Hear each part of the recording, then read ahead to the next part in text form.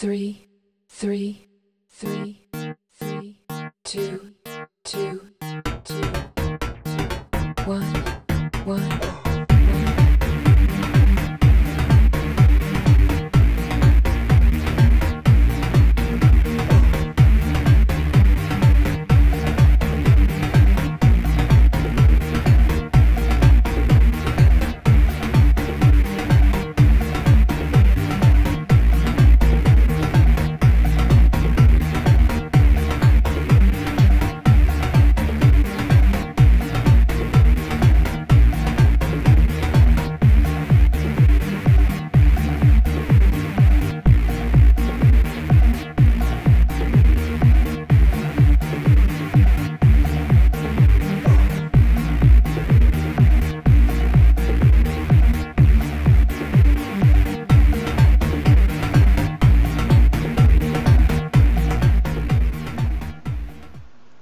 little plug for you guys.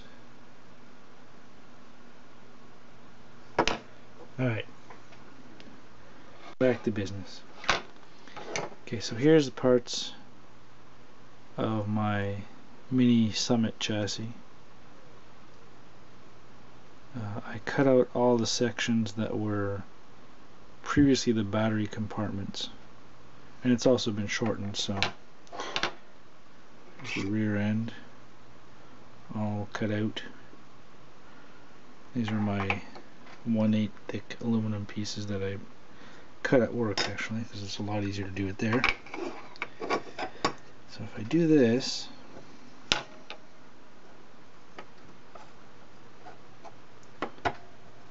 check this out.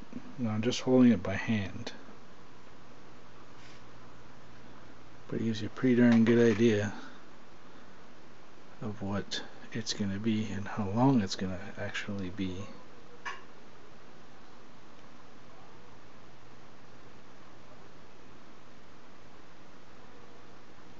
So there you go.